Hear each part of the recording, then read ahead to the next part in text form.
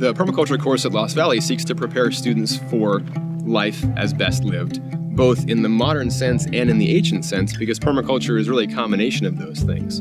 So I think of permaculture as a broad umbrella. It holds both the design science and approach to creating permanent agriculture and also as a movement that includes diverse groups of people who are creating resilient, sustainable communities all across the world. I've been farming and gardening and living on homesteads for a number of years, and I've learned a lot, but I really was hoping to get more of an in depth educational experience in permaculture. Lost Valley is a really cool place to take a permaculture course because there's all these different examples of somewhat mature and maturing permaculture systems from the different fruit trees and nut trees and different plantings to the water harvesting systems and uh, ponds and swales. They really have a lot of good examples to learn from on the ground here. That at the top of this watershed,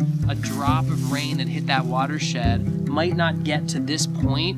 It might take years. I've wanted to do a permaculture design course for a long time and had kind of been looking around at different options, but the PDC at Lost Valley really jumped out at me because it worked with my schedule and it was really affordable. And through talking with folks in my community, had learned that a lot of people had great experiences. So, a nice feature about the permaculture course at Lost Valley is the accessibility for students. That's partly because of the schedule, which meets only one day per week for 12 weeks in a row. So, folks who have a working life can add this in if they have that one day per week available.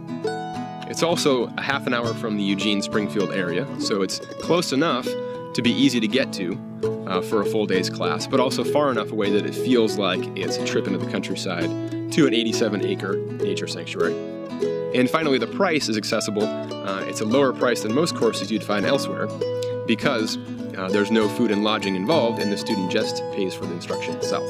I really enjoyed the diversity of instructors throughout the course. There were guest instructors that came in and were able to offer their expertise and their own specific niches of the work that they do. All botanical family names end in this ending right here. There's nothing quite as exciting as teaching somebody about a plant in the classroom and then having a chance to go outside and eat that plant, whether it's an unusual berry they didn't know before, a wild green, or sometimes we get to harvest medicinal plants and tincture them. This is tall Oregon grape.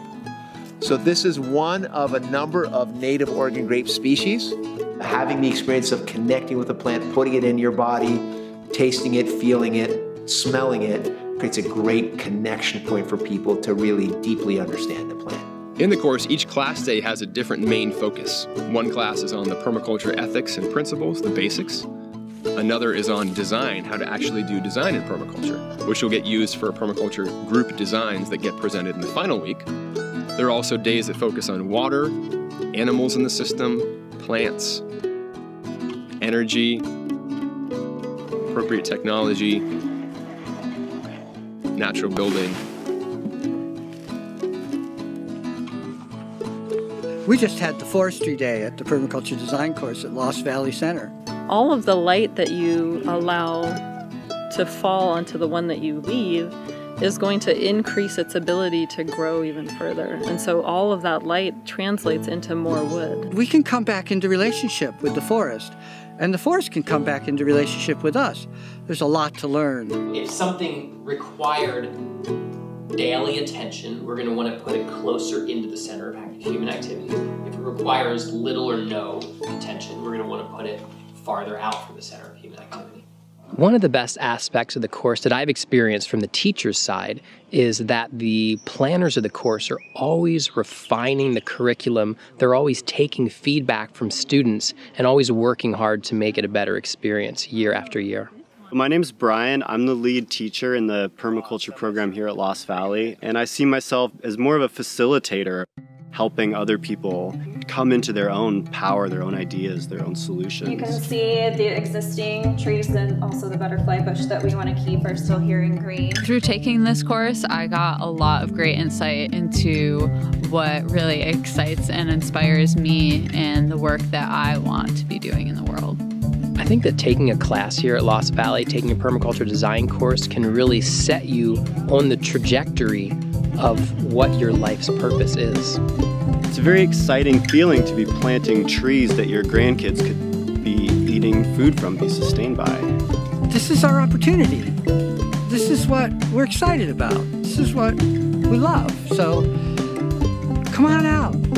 Come play in the forest.